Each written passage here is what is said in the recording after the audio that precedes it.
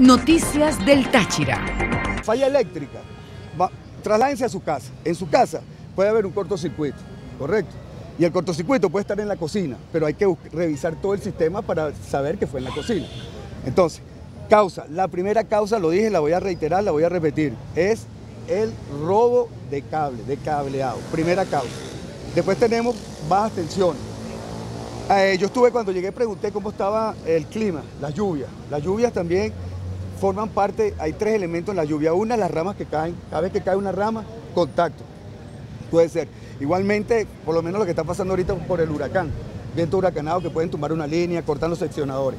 Hay muchas causas, pero lo que a mí me llama la atención, ¿verdad? Y, y lo digo con toda la responsabilidad del caso, es que es en esta época que se están incrementando, pero porque estamos en elecciones. Y por supuesto, no necesariamente el sabotaje, hermano, tiene que ser aquí en el estado Táchira, sino ellos saben que si ellos cortan un cable en Barina, va a afectar el estado Táchira, porque está alimentada. Es una línea que se llama, por ejemplo, Acarigua 2 Barina 4. Si esa línea se va, la línea de Santo Domingo se sobrecarga, porque esa línea que se fue, eh, Santo Domingo asume toda la carga. Hay una sobretensión y causa el apagón, porque se protege como un breaker. ¿Ok? Entonces eso está pasando. Por eso es que vinimos aquí, no solamente a lo del plan. Esta tarde yo tengo una reunión bien importante y están los gerentes de los tres estados, de Mérida, Táchira y Trujillo, los gerentes de generación, transmisión y distribución, así como también los del Centro Nacional de Despacho, porque vamos a buscar la solución, porque fíjense, los sabotajes no se pueden evitar, eso hay que estar consciente. Lo que tenemos que estar dispuestos o preparados para darle pronta respuesta. ¿Por qué no se puede evitar? Porque no sabemos dónde van a hacer el corte. Son 140 mil kilómetros de línea. Usted se asoma así desde aquí. Yo estoy viendo en la montaña una torre. Esa torre le pueden picar. Y a veces para llegar a torre se tardan hasta 48 horas y en mula, porque no entra un helicóptero. Entonces, eso tarda, ¿no?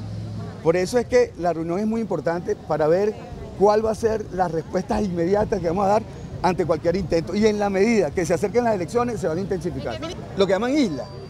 Isla es buscar un circuito que si se va a un circuito, por ejemplo, se va de ese que yo nombré a Carigua Barinas 4, aislar ese circuito que no afecte y darle electricidad al Táchira por otro circuito.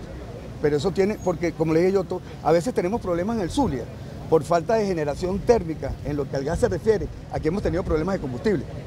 Y por supuesto el combustible también incide directamente en la generación. Entonces, cuando hay problemas en el Zulia, bajan las tensiones, afecta a los estados andinos. Dense cuenta, si ustedes llevan el termómetro a nivel nacional, que la situación se está concentrando en los estados andinos, hacia el oriente y hacia el centro del país no está sucediendo. Es los estados andinos porque es lo que llaman la cola del CEN, es lo último. Eh, eh, el hecho de que el Guri lo tengamos ahorita en 271 no tiene nada que ver con... ¿Por qué? Porque la generación de Guri no llega aquí a, a los estados andinos. Aquí se trabaja con la termoeléctrica y por hidro, la que nos puede dar la Masparro, Fabricio Ojeda, que también es termoeléctrica, Luis Zambrano, que es termoeléctrica, etcétera, etcétera. Noticias del Táchira.